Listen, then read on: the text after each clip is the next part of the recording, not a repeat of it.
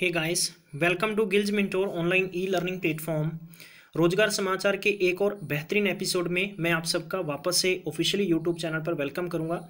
IDB bank के अंदर कुछ रिक्रूटमेंट्स आउट हुई हैं और आपको दिखाऊँगा पूरी डिटेल कौन कौन यहाँ पर फॉर्म भर सकता है क्या क्या कंडीशंस रहेंगी, आपका सिलेक्शन कैसे होगा और आपके पास क्वालिफिकेशन क्या क्या होनी चाहिए। सबसे पहले तो मैं आपको दिखा देना चाहता हूँ, यहाँ पर नंबर ऑफ़ पोस्ट लगभग तीन सौ हैं और ये वैकेंसीज बढ़ भी सकती हैं। क्वालिफिकेशन की बात करते हैं तो आपके पास ग्रेजुएशन होनी चाहिए और fifty percent marks and forty five percent S C और पीडब्ल्यूडी कैंडिडेट्स के पास होने चाहिए। फिफ्टी परसेंट जनरल कैटेगरी और ओबीसी के पास मार्क्स होने चाहिए। एज की बात करते हैं मिनिमम बीस साल होनी चाहिए और मैक्सिमम पच्चीस साल आपकी उम्र होनी चाहिए। जहाँ तक बात करते हैं टेंटेटिव आपका जो एग्ज़ाम होगा, क्योंकि ये सिलेक्शन होगा थ्रू एग्ज़ाम होगा और एग्ज़ाम आपका मई मंथ में हो सकता है। Right right. जहाँ तक बात करते हैं अनरिजर्व की एक सौ सैंतीस वैकेंसी हैं और रिज़र्व की बात करते हैं तो forty five twenty two OBC की eighty one E W S की फिफ्टीन और उसके बाद में पी डब्ल्यू डी की नाइन वैकेंसीज हैं। इसके बाद में आपको मैं बता देना चाहता हूँ कि यहाँ पर आपको फॉर्म कैसे भरना होगा। थोड़ा सा हम देख लेते हैं नीचे इसकी जानकारी है। Cut off date of eligibility criteria age यानी उम्र की जो कट ऑफ़ है गाइस वो आपकी होनी चाहिए एक मार्च 2019 से। एक मार्च 2019 से आपकी एज को कर, यहाँ पर कंसीडर किया जाएगा। ऑनलाइन रजिस्ट्रेशन की बात है link for the application will be made live shortly यानी बहुत ही जल्दी इसके लिए आपको लिंक दे दिया जाएगा, जिसके ज़रिए आप ऑनलाइन अप्लाई कर सकोगे। पेमेंट ऑफ़ एप्लीकेशन की बात है तो इसके साथ में आप कर सकते हैं। जहाँ तक बात आती है date of pre examination S C की बात है तो छः मई को आपको एक मौका मिलेगा छः मई और ग्यारह मई के बीच में। डेट ऑफ़ ऑनलाइन एग्ज़ाम की बात है तो यहाँ पर 16 मई की बात रखी गई है। 16 मई को आपका ऑल द सेंटर्स में एग्ज़ाम होगा टोटल 300 वैकेंसीज के लिए। और यहाँ की बात करते हैं तो कैरियर जो प्रोस्पेक्टस एंड सर्विस कंडीशंस रहेगी, आपके यहाँ पर आपको कहा गया है। ये कॉन्ट्रैक्ट रहेगा आपका एक साल का, और इसके बाद में रिव्यू किया जाएगा आपके एक्सटेंशन वर्क को मतलब ईयर टू ईयर उसी प्रकार से आगे आपको उस जॉब से निकाला नहीं जाएगा, बल्कि इस जॉब में आपको कंटिन्यू रखा जाएगा, आगे आपके कॉन्ट्रैक्ट को कंटिन्यू करके राइट जहाँ तक बात करते हैं कंसोलिडेट जो आपको सैलरीज रखी गई है, यहाँ पर बाईस हज़ार पर मंथ फॉर द पहले साल के लिए है सेकेंड साल में चौबीस हज़ार रुपये है, फिर नेक्स्ट ईयर थर्ड तीसरे साल में सत्ताईस हज़ार रुपये है। ठीक है?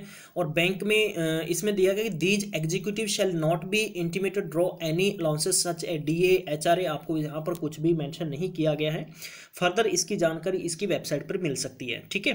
क्योंकि जहाँ तक बात आती है कि यहाँ पर ऑनलाइन एप्लीकेशन आप अप्लाई करेंगे फॉर्म अप्लाई करेंगे तो उसकी फ़ीस का लिंक भी आपको वेबसाइट पर मिल जाएगा। बीस से पच्चीस साल तक की आपकी उम्र होनी चाहिए। पाँच साल का एज में छूट मिलेगा एस सी को और तीन साल मिलेगा यहाँ पर बैकवर्ड नॉन क्रेमिलियर को। दस साल पीडब्ल्यूडी कैंडिडेट को एज में छूट मिलेगी। इसके बाद में और जानकारी थोड़ी सी देख लेते हैं अपने। जहाँ तक बात आती है कि एजुकेशन क्वालिफिकेशन की आपके पास डिग्री होनी ज़रूरी है। चाहे आप किसी भी सब्जेक्ट से आपने की है फिफ्टी परसेंट जनरल कैटेगरी को और फोर्टी फाइव परसेंट मार्क्स हैं, वो एस सी और पीडब्ल्यूडी कैंडिडेट्स के पास होने ज़रूरी हैं। राइट इसके बाद में आगे थोड़ी जानकारी और देने की कोशिश करेंगे कि आपको इस फॉर्म के साथ क्या क्या कंडीशन होंगी। जहाँ तक बात करते हैं कि नॉन रिफंडेबल जो फ़ीस होगी, फॉर्म के साथ में फ़ीस होगी एक सौ पचास रुपये S C S T O B C P W D और जनरल कैटेगरी को सात सौ रुपये फ़ीस पे करना होगा। और ये आपने थ्रू बैंक ट्रांजैक्शन के थ्रू करेंगे, आप लोग ऑनलाइन जब फॉर्म भरेंगे, उसी के साथ में आपको पे करना होगा, ठीक है? अप्लाई करने के लिए आपको क्या करना होगा, इसकी वेबसाइट पर जाना होगा, वेबसाइट पर आपको प्रॉपर जैसे आईबीपीएस के फॉर्म भरे जाते हैं, वैसे ही आप भरेंगे। और ये आप दोबारा से देख सकते हैं ताकि किसी भी स्टूडेंट्स को किसी भी प्रकार की गलतफहमी का शिकार ना होना पड़े, ठीक है?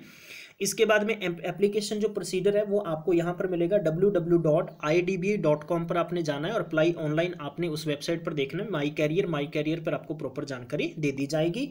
और आपने क्लिक करना होगा। Click here for the new registration जैसे उसको ओपन करेंगे, वहाँ पर आप देख सकते हैं राइट और अपनी प्रॉपर जानकारियाँ फिल करने के बाद में पेमेंट मोड पर जाइएगा। पेमेंट आपको सबमिट करने के बाद में आपका फॉर्म सक्सेसफुली सबमिट होने के बाद में आपकी प्रॉपर जानकारी आपके पास आ जाएगी।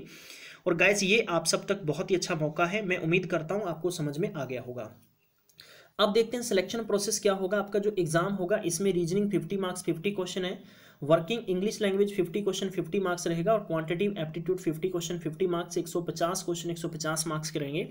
90 मिनट का आपके पास टाइम रहेगा और इसी के बेस पर आपका सिलेक्शन होगा। पेपर की लैंग्वेज हिंदी और इंग्लिश रहेगी, आपके पास चूजेबल मौका होगा, आप जैसा भी चूज़ कर सकते हैं। नेगेटिव मार्किंग एक बटा चार रहेगी यानी point twenty five negative marking रहेगी और इसके बाद में आपको मेंस पेपर की कोई भी यहाँ पर डिटेल नहीं दी, इसका मतलब है कि प्री पेपर के बेस पर ही आपका सिलेक्शन होगा।